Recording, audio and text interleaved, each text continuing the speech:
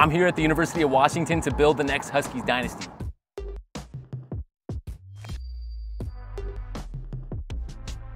Now I get it, the Huskies were just in the national championship game last year. But come on man, so much has changed. For starters, head coach Kalen DeBoer packed up and left for Alabama. Then add the fact that Michael Penix Jr., Rome Odunze, and eight other Huskies were drafted in the NFL draft. There are no returning starters on offense and only two returning starters on defense. Alfonso, the linebacker, and Elijah, the cornerback. Now that's a fresh squad. Are these guys trash now? Did I mention that Washington's also in the Big Ten now? Analysts are sleeping on this team, projecting them to finish 10th in the conference. That's all I needed to know to soak this team up.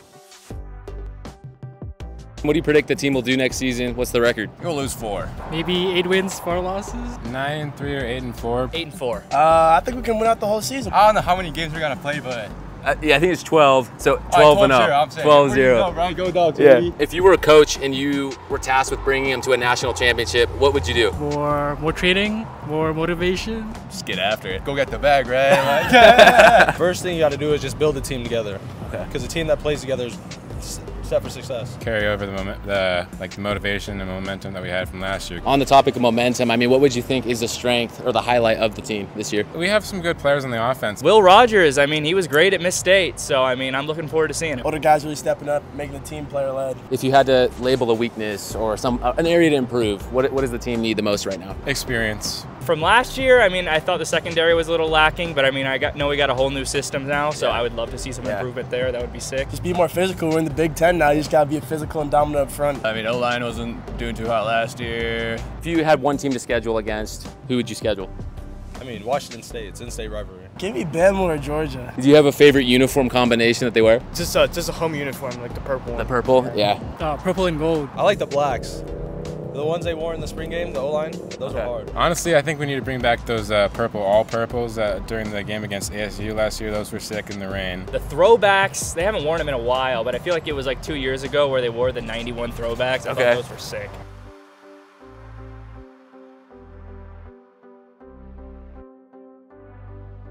We just heard directly from the Husky community what needs to be done to get them back on top. The only catch, I have five years to do it. And based on what we heard, I have seven challenges for today's rebuild. If I can't complete at least five objectives, I will give away a copy of College Football 25 to a random subscriber who comments down below. Here are the challenges for today's rebuild. The bar is high in year one. We must win at least eight games. Over the course of our five years, we need to win the series against Oregon. We can never lose. That's right, never lose to Washington State. Every year, we need to schedule Alabama or Georgia. We need to go and have a great performance from senior quarterback Will Rogers, winning at least one Player of the Week accolade. The last two challenges are about team improvement. In our first season, we can only recruit defense with a priority on getting physical on the defensive line. Then we need to look at improving the secondary as our second priority. Lastly, let's go and get a bag. Our goal is to bring in at least five transfers every single season during the rebuild. With all of that in mind, let's go ahead and get into the rebuild. First things first, to complete one of our challenges, we can only target defense in this first year. I see a lot of good offensive players here, like athletes, receivers, offensive line, all that want to be added to our board, but we can't. You heard the community, they all seem to think the defense is the weak point. A full batch of 35 defenders, let's offer scholarships in hopes we can land any insta commits. To get the insta commits, you already have to be their number one interest, and so far, we're not getting any. Sims, you're my last chance. And there he is. Boom.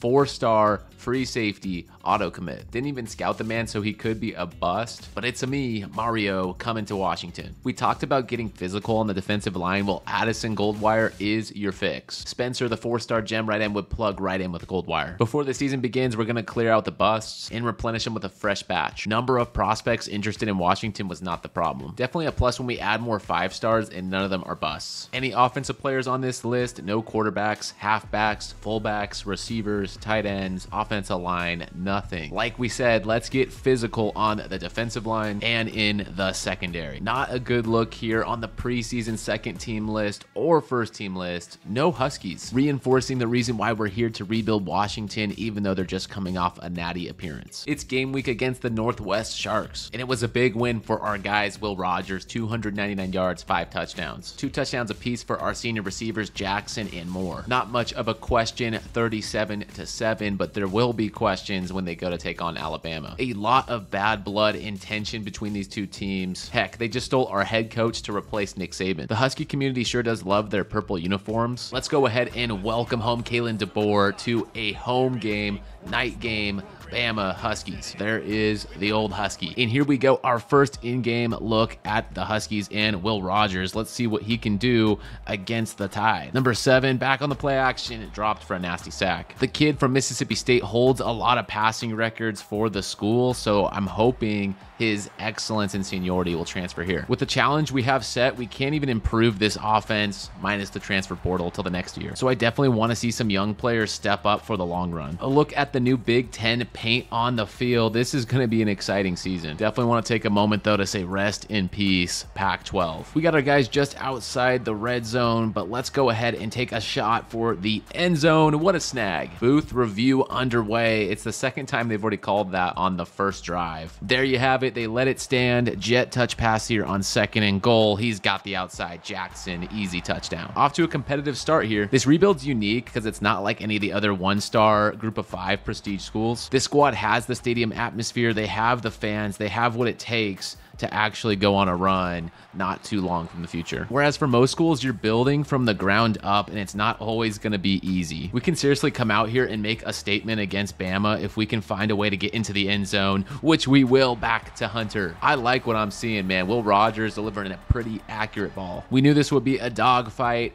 Alabama cashes in three to make it a one point game. Under two minutes to go, let's go ahead and get some more points. I think that sounds like a mighty good plan. Under pressure there, he got it off to his running back. One of our goals of this rebuild is to get Will Rogers at least one player of the week accolade, and I think he's on his way in this one already. Look at this bombs away, touchdown. Kalen DeBoer better figure out what's going on in the secondary. Unfortunate reality is Alabama is always loaded with some dudes, and look at this. Offensive line, four stars out of the five. This is why the secondary needs to get a lot more physical in the trenches. Now down by a touchdown, it's up to Will Rogers to lead the offense. Keeping this bunch of guys out here on fourth down, let's just take the drag route right across the middle. Super important we get something going here on the fourth quarter. Action ahead of us, Coleman fighting forward down at the one. Never say never in this game as we strike quickly for the touchdown. Spreading the love to a few different receivers today. Jalen Milroe has the tide right here down in the red zone, going for a big play.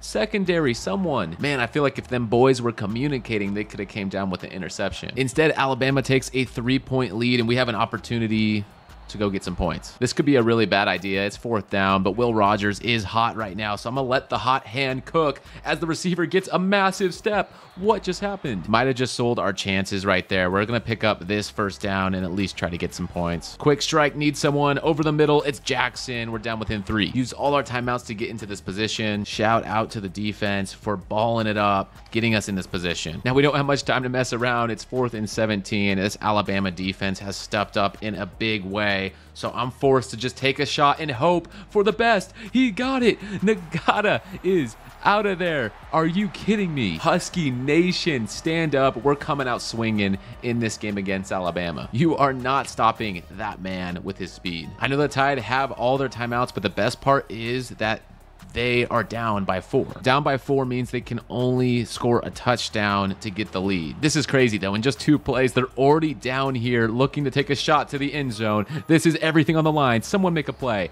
There it is. Broken up on the Hail Mary attempt. That's going to do it. Washington is victorious 42-38. Player of the game. Let's see if that's good enough for player of the week. It should be. I guess it's actually going to be a challenge after all to get our guy on this list. Ketron Jackson, 13 catches, 256 yards yards, four touchdowns, and they still lost to Utah. In the Big Ten, they give it to Donovan against an FCS opponent, 11 catches, 223 yards, three touchdowns. That's good and all, but it's an FCS opponent. What about the Alabama-Washington matchup that just happened? Quick look on the recruiting front. Looks like Steven Cheeseman is not going to go our way. I wanted a cheesy defensive lineman. No point in wasting our time in that battle. Let's get the points back. What we can do instead is survey our top guys and see if anyone's ready for a visit. Just like Logan Vogel here, we're in his top five, losing slightly to some other schools. Let's go ahead and get them on a visit. All being said, we should beat Northwestern, but the penalty for losing is huge. So let's go ahead and go with the safer route. Michigan, I think all things considered, we probably lose that game, but if we lose, it's not that bad, and he still gets a fire podcast interview out of it. For other recruits like Randy Godwin, we know two of three of his interests, so by deduction there, we can go ahead and give him the hard sell anyway. We need to get more aggressive because schools like Texas are already gunning for these guys. Now it's time for the Boeing Apple Cup where we got two in-state rivals going at it. Another night game out here in Washington. It's a little bit rainy, that typical Seattle vibe. Should not stop our guys from rolling. And I'm hoping it doesn't stop our guy Will Rogers from going all out today. I want a player of the week worthy performance. In my opinion, he should have had one this last week, but they went ahead and gave it to the Indiana receiver. That's all going to change as Coleman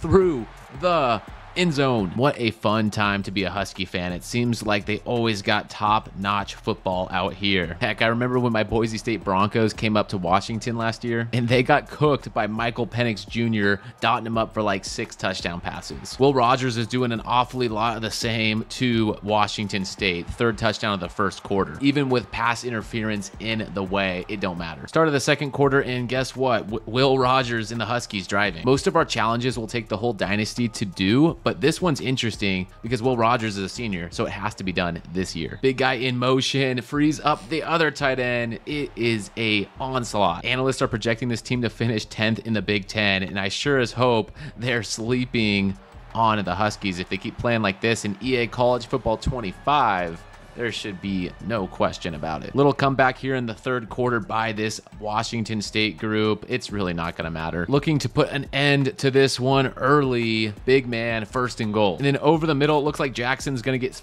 sprung open for an easy one. Defense has been in chill mode for most of the game, but let's step it up for one big one here. Fourth down. It's no good. That is a wrap 55 to 27. Not much of a close one. Just all that you can see Purple Rain. Will 352 yards and six touchdown passes be enough? Again, what is it going to take? They go ahead and give National Player of the Week to Alex Orji. Six total touchdowns, 407 yards. Went ahead and just scheduled visits for some of our top recruits. The perfect guy to be our first commit in this Washington rebuild, Cameron Workman. Let's go to work, man. Three-star gem, a sophomore JUCO. Now four in one on the season after getting the win against Northwestern and losing a close one to Rutgers. It's time to take on Michigan. Game of the week, let's see see if this Big Ten matchup can live up to the hype. Looks like we're already going to have to get our sights set on a rematch down 45 to 20. The defending national champs put up a game against this Husky team. And in order to secure our fate in the Big Ten, we're going to have to beat the nation's best team. That day is not today. 52 to 20, Michigan cruised. We had so many four and five star prospects visiting this game, but it looks like the loss didn't matter for Tyler Bosby, Kevin Sternberger, and that's really it. It brought us closer to guys guys like Addison Goldwire, but for others like Logan Vogel, it scared him away to schools like Notre Dame. A ton of points freed up, so let's go ahead and refresh the board. Bro, I swear this recruiting challenge is super tough when I'm refreshing the board and I see five-star prospects like Mawia or Whitehair still in it, five-star receivers. We could go get them, but we're not. Husky fans, put your hands together for Trevor Heaton. You said we needed to get more physical, so we got this stud from Tulsa, Oklahoma. And we can get a whole lot more physical if we just close the deal with Addison Goldwire. Unfortunately, lost John King here at the very end to Florida. Devon Cargill blocked us out with a deal breaker playing style, but the reality is we're the only one that's offered him a scholarship at this point. Fingers crossed something changes before the end of the season. For the rest of our guys like Amir Coxey, slow and steady win the race. We got to beat out Ohio State. Or if you're four-star gem Lane Durant, we got to focus on beating out Penn State. Who says a school like Washington doesn't need some help from three-star prospects? Wade Costanzo, a gem DB, right out of Temecula, California. Okay, Coach Sir Sponge knows a thing about that. We can speak his language, but for guys like Smoker, we just need to schedule them against USC. That's how we best get to guys like him. Let's go, man. We're bringing up the DT from San Diego, California. Talk about a monster addition. His presence is definitely needed because after we got blown out by Michigan, we let an Iowa offense drop 56 points on us. That does not bode well for the rest of our schedule, including 6 seed USC, 4 seed Penn State, and number 5 Oregon. Remember, in the amount of time we're rebuilding Washington, we have to have a positive record against Oregon. Big week here with Max Slater committing, Celesi Smoker, a three-star gem, Amir Coxey, four-star gem, and a lot more headway made on our other guys. This late in the recruiting game, we're still finding gems in guys like Jeff Swinson. You know what they say, defense wins championships, and we're super intentional about that. Managed to win a big one against USC, but we're gonna have to pull off another trick against number one, Penn State. And here we go. This has got to be one of the toughest places to play. In fact, in general, I think EA put a lot of effort and work into this stadium, this atmosphere, this experience that year in, year out, no matter what dynasty I'm playing, I seem to struggle at this field. Maybe that can all change as the Huskies come into hostile territory.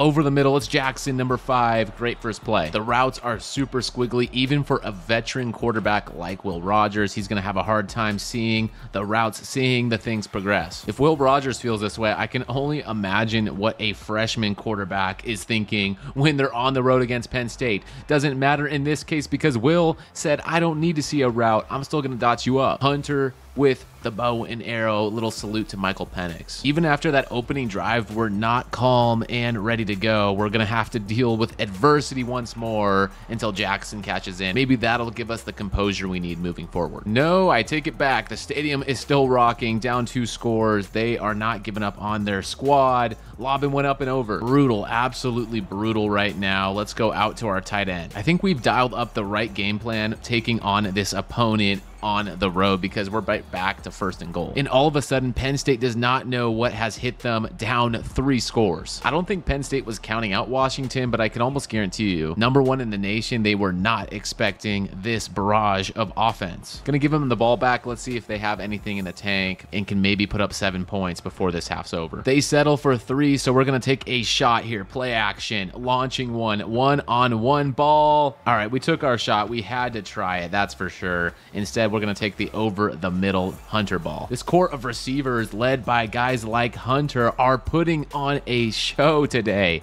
How do you do? Back against the wall, we're already forcing them to go for it on fourth and inches, and they don't get it with Singleton. Oh boy, it is so quiet in here. You can hear a pin hit the ground because Penn State fans are in absolute disbelief. Drew Allar and Nick Singleton did not show up in this one today, looking to get a little bit of redemption on this drive. To Down by 25, this unit is going to need to get this conversion and so much more. Penn State able to score one more time. That is a wrap, 38-20. Stonks going up for the Huskies a few more recruits liked what they saw in that last one. Really shoring up our list here. I have 200 more hours and I really don't even know what to do with it. Rounding out our season on the road against number two, Oregon. Ducks are trying to NIL themselves to the victory. They have backing from Nike and they're willing to fund Oregon with unlimited NIL dollars. No, seriously, that is what a report said from the founder of Nike. Definitely feel like that's a tough pill to swallow if you're any other team facing these guys. Down two touchdowns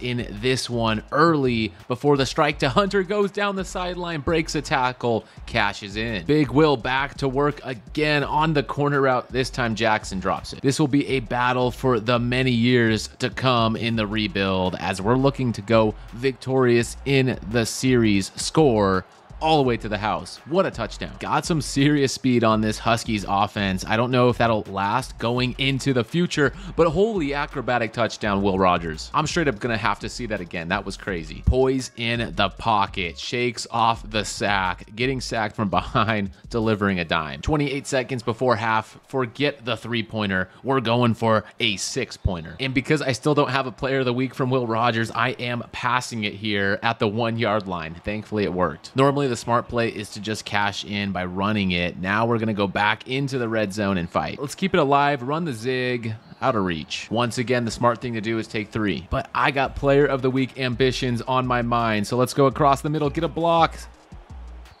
fell short. Safe to say we paid for it. The outcome of the game might have looked different if we just took our three, but it didn't stop the fact from Oregon scoring twice. Their offense is seriously one of the fastest units in the game. It's nuts. Fourth and 10, they cannot hear my audibles. The noise is getting loud out here. Doesn't stop the fact we convert. This is it. Fourth and 20, the game on the line here. Gonna throw one to Jackson. He hauled it in. Technically still got all our timeouts, so never count out this team until the final whistle. Check out that touchdown? Might need some pointers in the comment section for onside kicks because I never seem to get these things to land. Third and five, game on the line. It is a pass. He's going over the middle. Someone make a stop. There it is. Bruh, I got way too hyped. They were in field goal range. So what do you know? They take three points and that's going to be game. Tough one. Battled it out till the very end, but Oregon beats us 52 42. It means we're going to have to pull off a crazy streak in the last few years of this rebuild. Will Rogers was cooking and we tip our hat to the senior. It's not Will Rogers, but Denzel Boston, our sophomore receiver, getting player of the game. And as it stands, that's a brutal way to go out. 13th ranked in the nation, just missing any of the 12 spots in the playoffs. What a year for Carson Beck, good enough to win the Heisman. Our year is going to wrap up with the Music City Bowl against the Rebels. Before we get to the bowl game, it's early signing day and we have the seventh best class in all of the nation. Imagine if we had access to offense. I believe it would easily catapult this top tier defense to number one on the recruiting list. This is how the Big Ten shaped up. Michigan beat Oregon in the championship game. Nebraska, Ohio State, and USC finished higher than us. Penn State really fell from grace when they were a number one seed and we beat them. And I seriously just realized the Husky community knew what they were talking about. Multiple people told me eight and four, and that's exactly what happened. At least we had Giles Jackson represent second team All American list. Will Rogers might not have got player of the week, but he got first team All Big Ten. But that doesn't negate the fact we failed a challenge and have six of seven remaining. Absolute electrifying season, 48 touchdowns to four ints. How in the world was our man not even on this list for Heisman? At least senior Sebastian Valdez went out in style in the Music City Bowl, but ending on a 27-13 loss just stings. If it didn't sting enough to lose our own bowl game, it stings far more to see our rival Oregon win the national championship. Jonah Coleman's the only one thinking about transferring, and I'm really not in the mood for that, so please persuade him.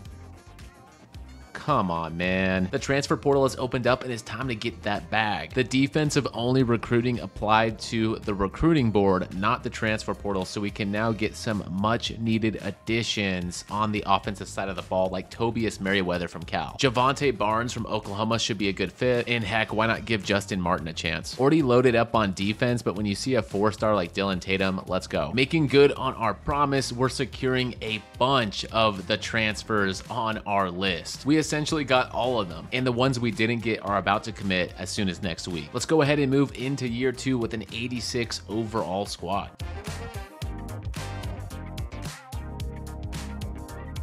Year two in the rebuild for a team with high prestige like Washington is just a stepping stone until the next year or two when we're competing. We got physical on the defensive side of the ball, and this year we're now able to open it up to offense as well. So Pandora's box is opened. Let's go ahead and take a look at some of the freshmen on defense that will be game changers in two, three years' time. First one we look at is Lane Durant, elite development. Why not go with five-star star Trevor Heaton on the other side? If for whatever reason that doesn't work out, four-star Tim Tukafu elite dev. And then you already know five star Goldwire, another star. Corbin Kuntz, a star defensive tackle. We got some dudes ready to go. Starting middle linebacker, true freshman Jeff Swenson clocking in. And right behind him, Brian Hope. How can you not have hope in this defense when you got guys like Amir Coxey? The season in front of us starts off with Georgia, Washington State, before finishing with Oregon. A lot of really good quarterback candidates in this recruiting class. I think Denzel Sizemore is my favorite one. 92 throw power, 80 accuracy, 85 speed, 91 excel. Look at all the abilities. Man is coming out of high school ready to go. I'd be a fool not to give him all my points. Valami Finger, what a name here, already in the lead. Looks like Gregory Bowie, 96 speed speed would be a great addition. Really interested in our gem four-star prospects, Tim Zahersky, Jason Kozlowski, and Josh Mustard. Randy Wilder rounds out this list, but man, we have so many good options. Let's go ahead and start year two with the bang, dogs versus dogs. Looking to prove that Washington can hang in there with anybody. There seriously is no greater test than number one seed Georgia. Even with Heisman winner Carson Beck in the NFL, this is no easy task.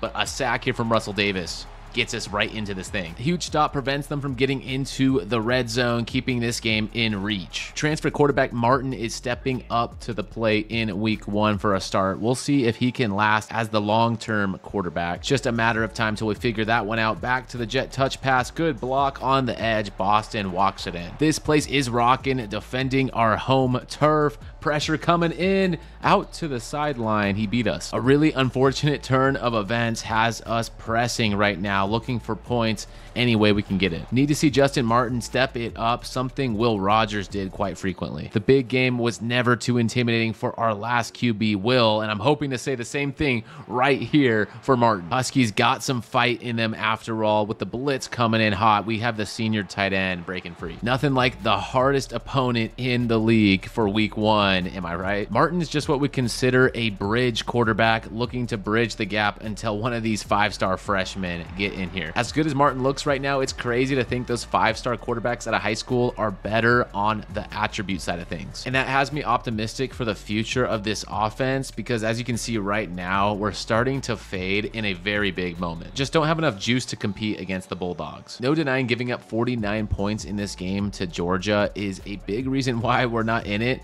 but I hate to say it's all on the defense when I know an elite offensive performance keeps us in any game. Now out of timeouts, we're just forced to work with what we got. It's a darn shame as we hate to start off 0 in 1, but that's exactly what happens in our home opener in year two. Got our number one choice here in Denzel Sizemore on a week seven visit. For now, let's take things as they come. It's the Apple Cup against the Cougars. Had no trouble whatsoever in this rivalry game at Washington in year number one. It's year two. We're on the road. It's not going to be as easy as the Huskies backyard. And the mission is still the same. We're out here ready to win every single game in the rivalry matchup. Down 3-0 after our first drive stalled out, hoping for better results in this one. There we go. Fourth down conversion to the big man. Looking to finish it off. The running back is sprung free first and goal. Good play by Mohammed. Let's finish it off with Boston. Jet touch pass. He's got the angle. Cougars are playing us much tighter than they did last year. That's for sure. So let's go ahead and chuck up a bomb and hope Merriweather gets there. He does. Transfer to transfer crime. Love to see a new connection take shape as he's going to go back over the middle to Merriweather once more. Touchdown. Let's go ahead and keep it going before half. Any insurance points will do.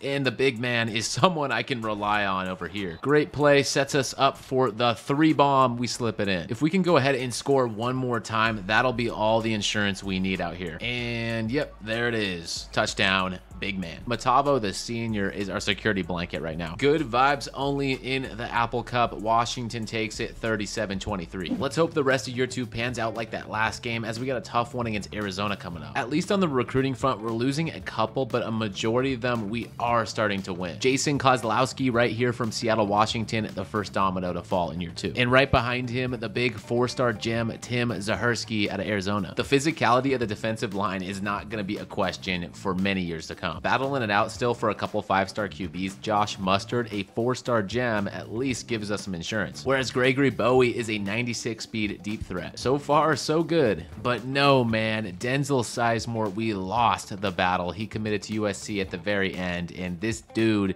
is one of the most gifted guys coming out of high school. Wow, USC bone me some more. They got the other five-star quarterback we were going for, beating us out here too. Why do they need the best two quarterbacks in the nation? Only one can start. Looks like we're riding with Josh Josh Mustard for the future, which is actually not a bad thing. 94 throw power is the biggest arm amongst scramblers here. Added Stephon Kenyon to the board, maybe he'll be a good insurance option. Definitely don't mind what I see. The secondary continues to get stronger with Alon Jean Pierre. I feel like I could say a lot of raunchy things with the last name Finger, but I'll hold myself. I just know Finger's gonna be a problem for the defense. Not a surprise that Mitch Cheeks is a bust, but check out those stats. 94 throw power, 91 speed, 92 excel, I think he'd be still darn good. In fact, I'm to go ahead and take a chance on him. Another big moment when you land a five-star right tackle. We love to beef up this line. A rough stretch right now in year two has many guys locking us out because you know what? They're thinking we're no longer championship contenders. And at two in five, we are getting blown out by teams like Arizona, Illinois, Maryland, and Nebraska all handling us. The schedule does not get any friendlier, and unfortunately, after Will Rogers left, it just doesn't feel like as good of an offense, and the defense is still growing. A couple big wins later, we're back in good graces with some of these guys, but I think the damage is done. Notre Dame's gonna win here. I think Oregon's gonna win here. I'll go ahead and try to even hard sell, but I I think it's too late. Definitely too late for Stephen Kenyon. The one guy it's not too late for is out of Alabama. It's Enrique Sellers. Very good second half of the season, taking our two and five, and wabam, six and five. You know where that leads us, and is this the second year in a row we're on the road at Oregon? How did the scheduling work like that? Regardless, we're gonna come into this hostile territory ready to win, as that's the only mentality. We will not shy away from a challenge as we hit Williams in stride. He's going all the way to first and goal. A disappointing season with a strong second half can get all the more sweeter if we can end it with a win against Oregon. If we lose today, which I don't want to talk about it, it would mean we're 0-2 in the series with three years left, meaning we can never, and I mean never, drop another game against this team. 33 yards, that's not all too intimidating cash. Less than a minute, we got good matchups on all our receivers out here, including Merriweather. so if he gets a step, I'll hit it to him,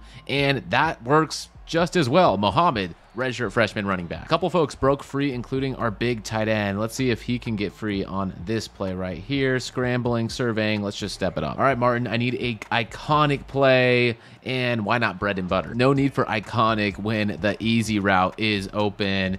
This is a third and 10, and we dump it right over the middle, fourth and one. Up by four, the game is really on the line right now. Quick flat out to Merriweather. He's breaking free on one tackler, spinning against another first and goal, essentially. Here we go on a jet fake touch. Wow, breaks one tackle, spins forward for a positive play. That looked blown up from a mile away, although it was a good one, leading to a nice score right here across the middle, number three. Final two minutes of the game. Oregon still has all their timeouts. Let's end it right here. Jet tut to Boston, spinning around a couple defenders. The Duck still doing his dance, thinking they got a chance. Let's hand the ball off, chew some clock and some yards. Good run. I'm thinking it might be a good idea to pass here, and yes, I was right until they broke it up. Ducks just broke that thing up and we're in trouble. Fourth down.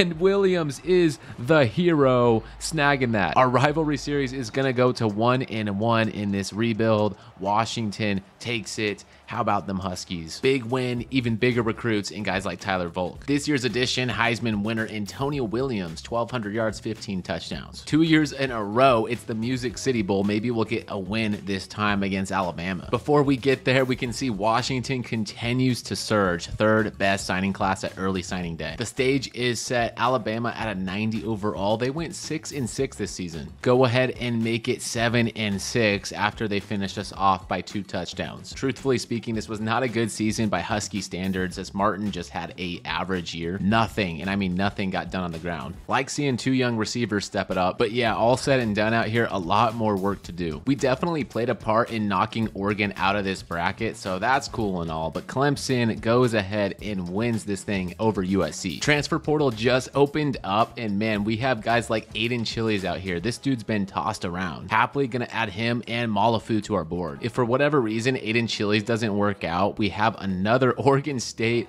transfer quarterback in Gabarri Johnson. It seems like everyone's trying to get out of Beaverland. You know the drill. We got to make sure our players get the bag, so we need to entice at least five transfers. We got him. Aidan Chiles is coming to Washington, and he'll at least be a one-year rental while our freshmen are developing. Jackson Harris from Berkeley, and a few more guys right around the corner. And with that, we have satisfied the requirement to bring in at least five transfers. A top five class with 19 four stars and three five stars. Dang, I'm impressed. Four star bust Mitch Cheeks is actually the furthest thing from Cheeks, a 75 overall quarterback or running back off the rip. Looks like Mustard and Cheeks will battle it out for our QB of the future. And you see this right, sophomore running back Jordan Washington, 99 speed.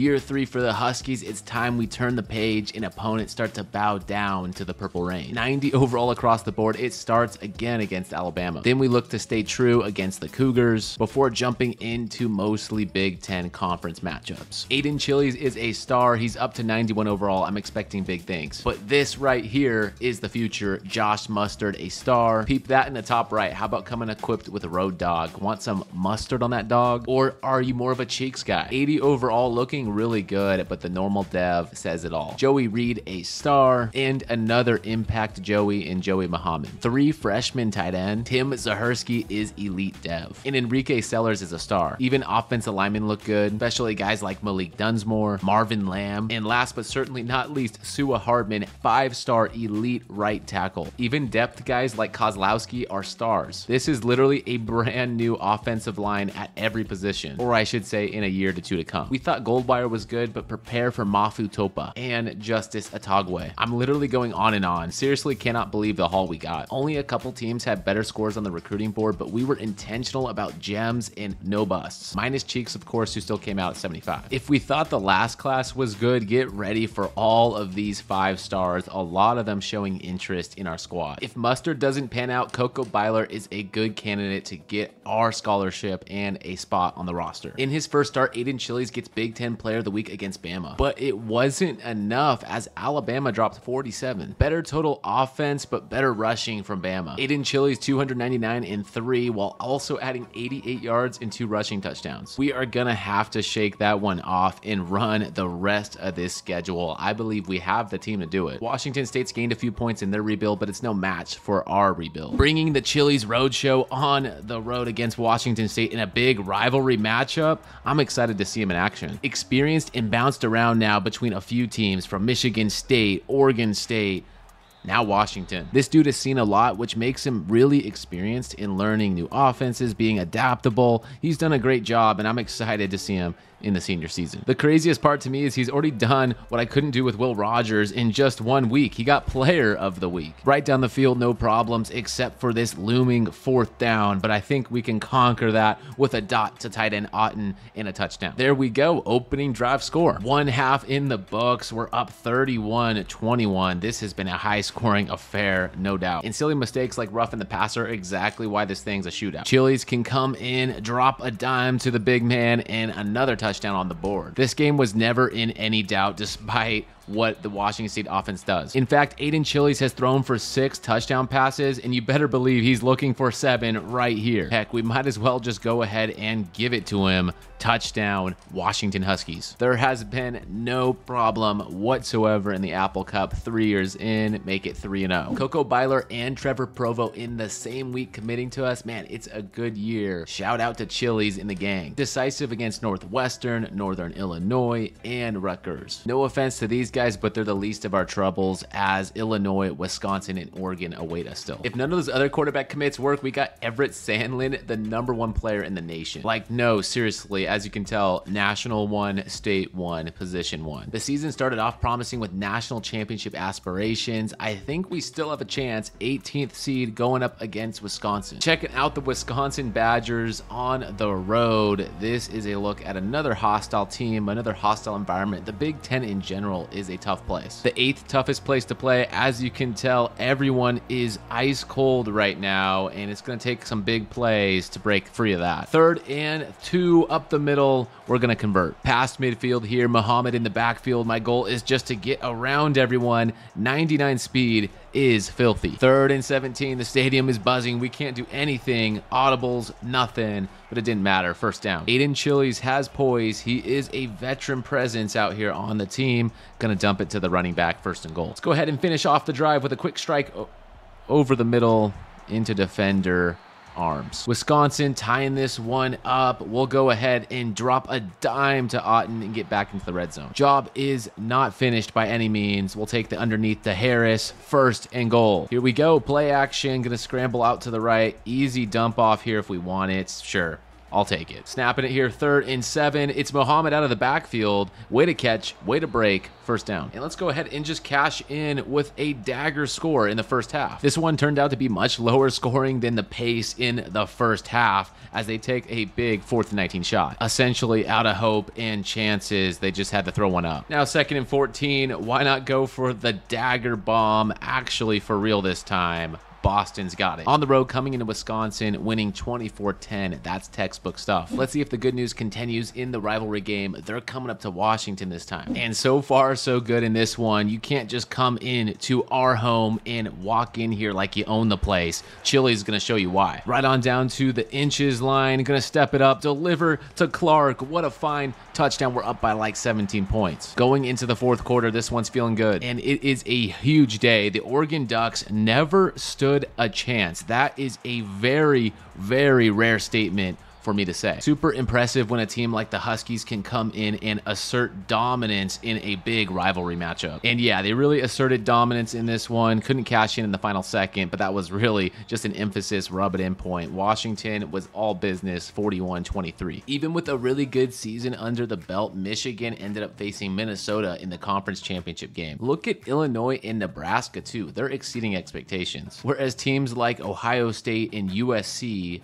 as well as Penn State are all underperforming. To be honest, I'm not sure how our school and Nebraska made it into the playoffs when Minnesota was a better team. They swept Michigan, gave them two of their three losses, one in the regular season and one in the Big Ten championship game 27-10. Looks like Dylan Wittke figured out the Michigan defense. Whereas Jaden Denagle had 185 yards on 50% completion and an int. In the same season, they beat LSU, UCLA, USC, Iowa, Penn State, Maryland, and like I said, swept Michigan. I feel like they got gypped. Deja vu, the same player has won Heisman in back-to-back seasons. Antonio Williams, get him to the NFL now. This season, Ryan got tight end of the year, just like that first round berth against the Georgia Bulldogs. Is this our year with transfer quarterback Aidan Chiles? Well, only time will tell. On the road in Georgia, dog v dog, it seems like the answer is no as of this second pressure way too much. Already gonna step up and go for it here on a huge fourth down over the middle. He secures it. It's Harris. Another fourth down. That's right. The tight end is gonna spring free.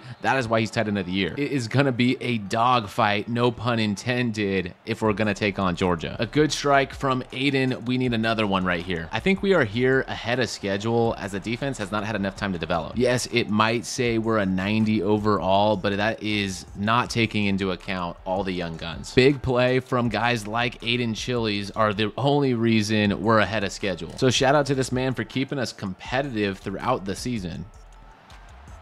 That ball was not very competitive for our guy to make a play. Chance at redemption here in the third quarter. Gonna jet touch it, and boom, Boston springing free into first and goal territory. Husky Nation looking for a big one here. Gonna go to the receiver, Williams. He is clocked at the one. More of an elusive back, not a power back, which would be ideal at the one. We're still gonna hand off to Muhammad. And see, that's what I'm talking about. Uh, an elusive back, not very ideal more often than not. Really don't want to give up more points than we have already. Trying not to instill hope in them. That's a big sack. And look at that face. He knows that is not a good stop. The fan was worried we'd come back into it, but honestly, fourth and 15. This is brutal. What a snag. That was seriously it. The season on the line. And guess what? The season is on the line again. Fourth down over the middle as he's hit. It's Otten, the tight end of the year. What a haul. What a run. We still very much have a chance to make this game interesting. We have all the timeouts in the world and now it's another fourth down looming. I'm gonna go for it because we've gone for it literally all drive, and it's gonna pay off again. Aidan Chiles touchdown. Back against the two, we have the ball and we have a chance to play hero in this game. Knocking off Georgia is gonna go a long way on our resume for the remainder of the tournament. Boston snagging that one in between a star defender and taking it to the house. Only problem is we scored really early. There's two minutes for Georgia to respond, and they responded in mere seconds. It only took a couple plays, so we're back at it again. What a dime. Good defense. I'll give him credit for a heroic stop there. As we go to the sideline, Williams, yes. Aidan Chiles knows there's potential. This is the last time he picks up a football in his collegiate career, so he's trying to make it count. Seriously, some inspirational stuff right now. Stepping up, scrambling. He's going to run forward for five. Under a minute to go. We got a man open deflected, intercepted. That is going to be it. Oh my goodness, that's heartbreaking. Wow. Okay, the season ends like that on a deflected pick. Stockton and the Bulldogs barely survive. On pace to bring another really good class led by two five stars and 11 four stars at early signing day. After Georgia defeated us, they lost to Marshall and badly. So that was a surprise outcome, but what's not surprising is Michigan going the distance. Once again, I'll stand by and defend Minnesota in this one. Shout out to Chiles for the 40 passing touchdowns and five rushing. We've had some good quarterback play through three seasons. A few guys going to the NFL after that season we had none other than Aidan Chiles, a first round pick. I don't know if you all noticed, but we went up half a star in prestige, which has big implications on all of our recruiting efforts. Recruiting has been going extremely well at this point in the rebuild, and I think we actually have all the pieces we need on the roster. Heck, we were this close from going on a big run this last season. So going into year four with even more guys, more training, and two young freshman quarterback that just got to learn from Chiles, the training boost's gonna hit different and they're ready to go. And there we go. We got the transfers we set out to get. That is the five that we needed to meet the minimum threshold. One, two, three, four, and five.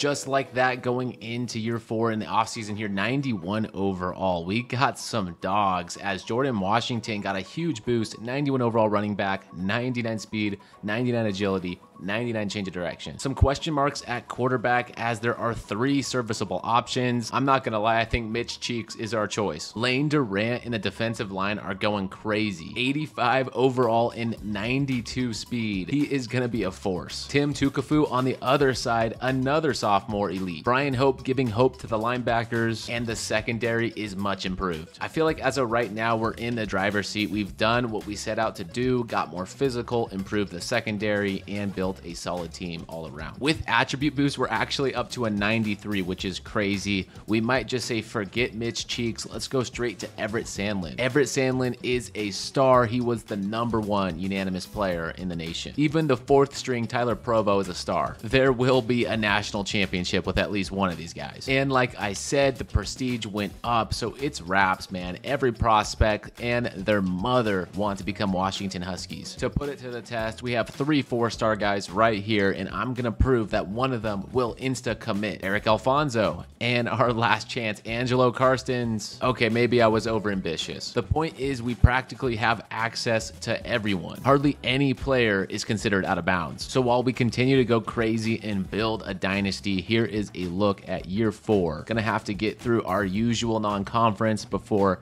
usual Big Ten. While everything is pretty usual, the only thing that's not is us. We're on the way up, 93 overall. The rest of these teams, they're not like us. As it stands right now, the first college football playoff poll, this team is built to win now. Seven and one, lost by three to Alabama, but never looked back against the Raging Cajuns, Washington State, Northwestern, Ohio State, Indiana, Illinois, Rutgers, and now bring on USC. Everett Sandlin as a true freshman is inspirational. 25 touchdowns to five ends. Really good stuff. You know he's putting up a crazy season when Burns has 11 and a half sacks and we still have about four to five games left. Win after win on the recruiting front. Three picks already for Allen Jean Pierre. USC might be good with a 90 overall, but we're better in every department. The defense, as stated by the Husky community, was ever so important to build right. Well, go crazy Husky Nation. I have them up to a 94 overall. At home, it's time to see what the hype is all about. Enter Sandman. You are now in Sand Land for the freshman quarterback with a star cast all around him dumping one off here. It definitely helps to have a 99 speed running back and then freshman redshirt elite Zahersky, a tight end that will be reliable for years upon years. Instead, we'll hit Williams and get ourselves into the red zone. I'm starting to gush about this team and it's easy to see why. Sandland is taking everyone into his universe. Huge run, 90 plus speed. Sold out crowd. Everyone wants to see the number one player in the nation continue to light it up this year. It's probably never been done before, but he's aiming to become the first true freshman to win a national championship. Sandlin is bringing something Rogers nor Chiles could bring to the team. It's dual threat ability, and he's gosh darn good at it. You take one glance and you forget you're dealing with a true freshman out here. It's a friendly environment when you can back your quarterback up with a top tier defense out here. They weren't existent on that last drive, nor on this one. USC takes the lead. No problem at all for this unit. Trucks it up the middle for another one. Third and 13, need a big stop. Another sack from Trevor Heaton. This dude was an amazing signee just a couple years ago. His second sack of the game, huge play. Heroic defense, and now all we got to do is just run out the clock. That's going to seal it. Washington wins 35 31. I'm honestly flabbergasted that a true freshman has led this team to a 10 in one year decisive victories across the board. I shouldn't be too surprised because he has the best supporting cast in the nation, but still, it is encouraging to see him just plug and play. With one regular season to go against the Ducks, he easily could pass the 40 touchdown threshold in his true freshman year. The way this rebuild's going, we're clearly not going to be here for his year two, three, or four season, but I can easily see him getting up to 99 overall in an NFL draft here soon. This is iconic. Burns with 12 and a half sacks, and then Trevor Heaton with 11. Burns and Heat, I think they easily answer the question about getting more physical on the defensive line. On the road to finish out the year against Oregon, the last thing you want to do holding on to a one seed all year long is to drop it in the finale against a heated rival. Better yet, it's not stopping the duck, but it is a snowy one and it's cold in Eugene, Oregon. Not to stop the heat the Huskies are feeling. Definitely to need to be more mindful about the plays we're running. I believe our running game should be having a big game for sure in the snow. Jordan Washington got hurt, so it's up to guys like Muhammad to carry the load. Passing, we've got to be careful to take our time and deliver a good ball, as I expect to see a ton of blitzes from the defense. Another big play inbound, out of reach. Sandland on the road, bringing the action with him, going for it here on fourth down.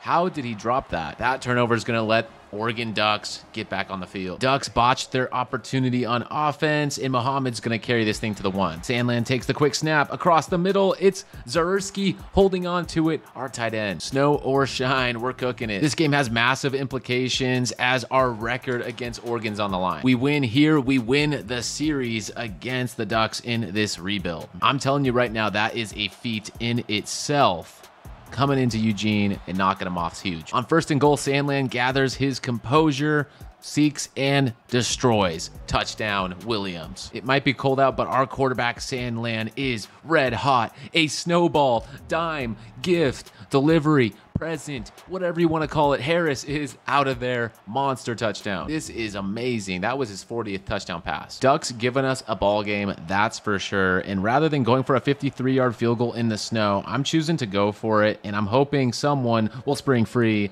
It didn't work out. Needing some help here on defense. I'm hoping they can make a stop and talk about a huge play by the redshirt freshman. That is Jean Pierre, our guy, number 10. Monster turnover turned into points. It looks like a wild wildcat formation. No one is fooled. We are watching the Ducks implode before our eyes. Absolute huge turn of events. But this only becomes worth it if we can get points out of this drive. Rather than play conservative and settle for three, I think we can surprise them here by going with a big play their blitz got to us first. Now a huge kick for our young kicker, and that is not going to go well by any means. It's up to the team to hope in the defense and talk about a monster sack. And that's right, they feel so inclined to go for it here. Going across the middle, intercepted by Sims. That is two costly turnovers by the offense. It's a me, Mario Sims on the last interception. And now under two minutes. Let's kill this clock and go home. What a ballsy effort today. Jet touch pass to Armstrong as he's rumbling down the sideline, will not be stopped. Touchdown all the way. That's the emphasis, an icicle dagger in the freezing cold. Before I start talking my talk, let's recover the onside kick. Thank you very much. And I am proud of this team. Oregon may be six and five and about to go to six and six, but they are always a tough one in our side. Last time out under their belt, there it is. Extremely risky. I know this has a low probability of working out, and it didn't. First and goal, they need this to work more than anything. If we can tackle them inbounds, this thing's over. but oh no, Oregon takes the lead. I think we really messed it up big this time. That is unfortunate. Truly, I thought this thing was over, but clearly it was not. Now we're forced to seriously just take one last shot and see if our guy can win it and go the distance, intercepted to seal it. And wow, I was celebrating before this thing was over, and the Ducks show me why you can't do that. They pulled it off in the very last second against all odds. They threw two picks and then somehow managed to come down the field and win it. It proves that we're fallible, but maybe it's the kick in the rear we need. And yeah, I think I can say with confidence I was right. It was the kick in the rear we needed, and the Big Ten championship's ours. The Terps never stood a chance. I'm sorry, guys. It's all Huskies here. 45 17. The Terps got this far and fall to a elite Washington team. Everett Sandman proving why he's one of the best in the nation already. And celebration time is here. The Big Ten Championships coming back to Washington, the first ever in this school's history since they were just in the Pac 12. The playoff picture is set. We're a one seed, and honestly, I like our path. The region we're in, it looks like we'll face the winner Tennessee, Miami. But around the league, too, it's pretty cool. Georgia Tech, Marshall, Tulane, Stanford. Maybe we get some underdog stories. Only question for me is why is Georgia ranked number one in the top 25? As we begin our ascent to the national championship game, Sandlin, as a freshman, 47 touchdowns, 4,000 passing yards. This is seriously the best performance I've ever gotten from a true freshman. It totally makes sense why he was ranked the number one player out of high school. Feeding Jackson Harris for 15 touchdowns and 1,300 yards, Armstrong for another 13 touchdowns, and then even Tim Zahersky, 64 catches, 627 yards, and six touchdowns as a redshirt freshman. Defense popped off, no doubt. Heaton actually overtook Burns for the lead in the very end, 14 sacks. Allen Jean Pierre, five interceptions too, my guy. Surprisingly, Ricky Collins wins the Heisman with these stats, and I don't think our guy was too far behind him. In fact, we got some other accolades on the team, like best interior lineman. I was right. We were behind Ricky Collins and DJ Lagway as a true freshman finishing third. Everett ain't worried about it. His sights are set on the natty just like the rest of the team. A beautiful day at the Rose Bowl between the Huskies, the Volunteers, I am excited for this matchup on deck. Which dog is going to rise to the top? Nico's no longer here, but I'm sure he's done an awful lot to get his program in a good shape. I don't think they're quite ready for the sand land experience. Touchdown to Zahersky. First blood in the Rose Bowl. Let the games begin. We also have no problem over here getting second blood in the game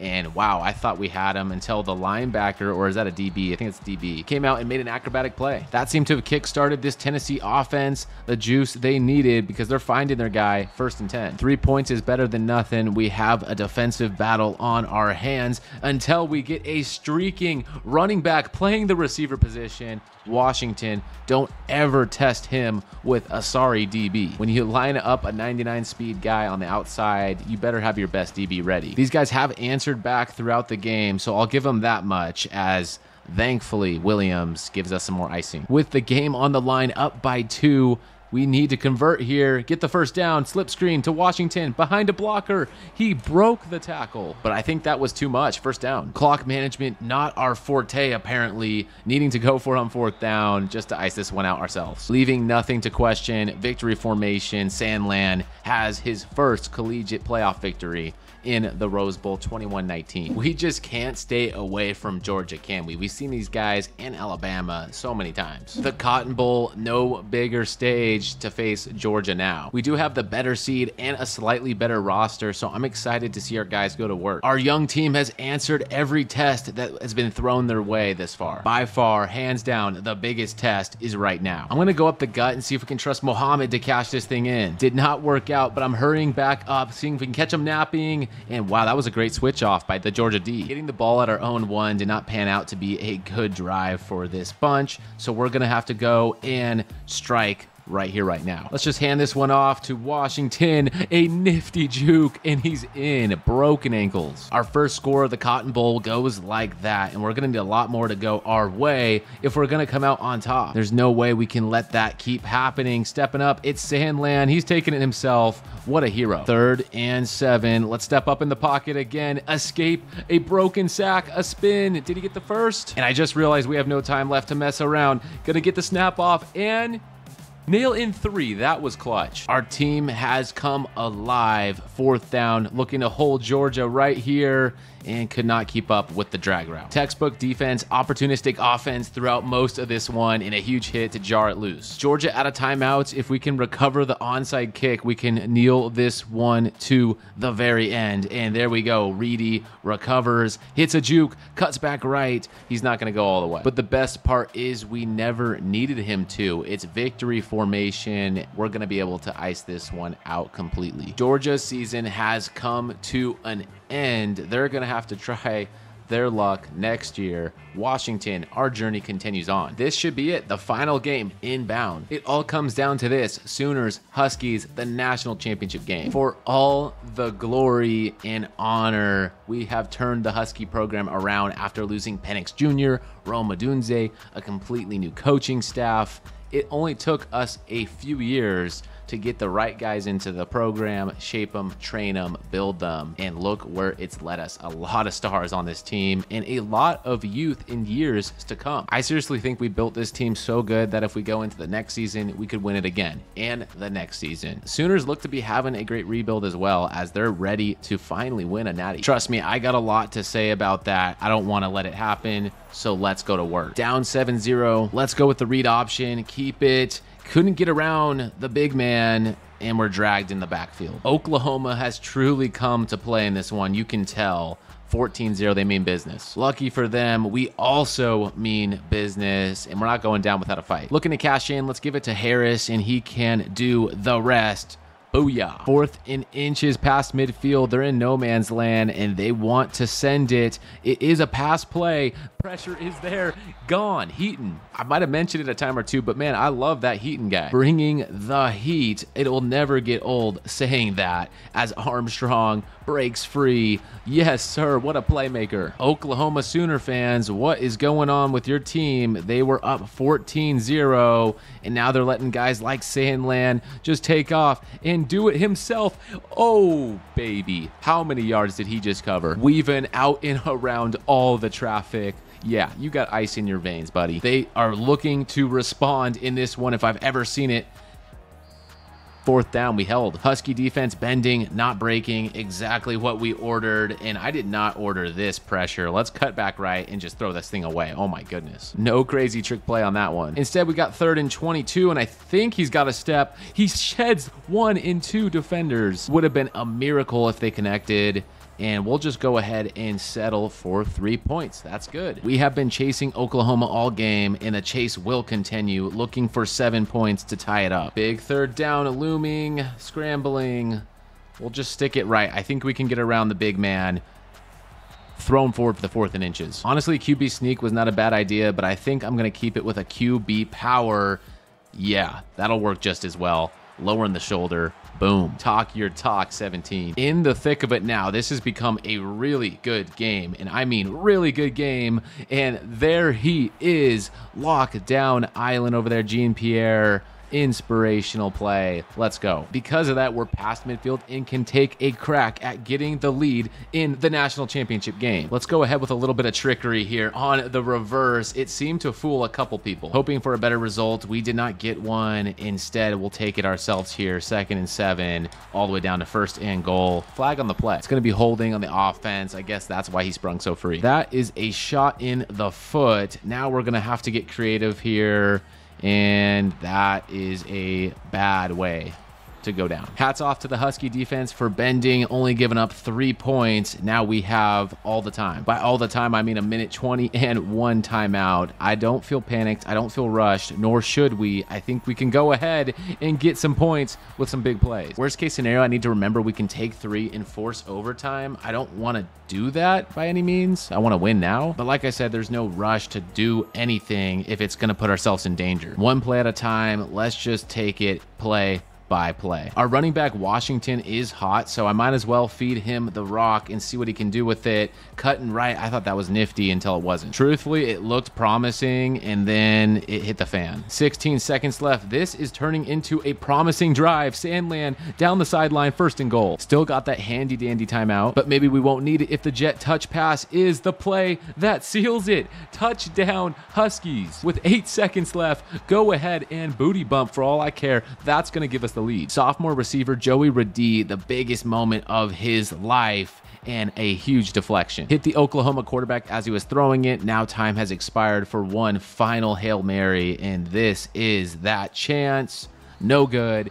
The Huskies are national champions. Storm the field. Here comes Washington with the title. Truly a dominant team and a dominant team for years to come. We have listened to the community. We took our time to observe the Washington campus. We interviewed the players, the people, got a good sense what needed to be done as coach, and Sir Sponge has come in and delivered. If you are enjoying these type of rebuilds and if you want to see me go to more campuses, listen to the and rebuild them, make sure you subscribe to King Sponge. Let me know in the comment section your thoughts. And as always, keep it here with King Sponge for all your college football 25 needs. Washington Huskies, I send you off on this note. Congratulations on the Natty.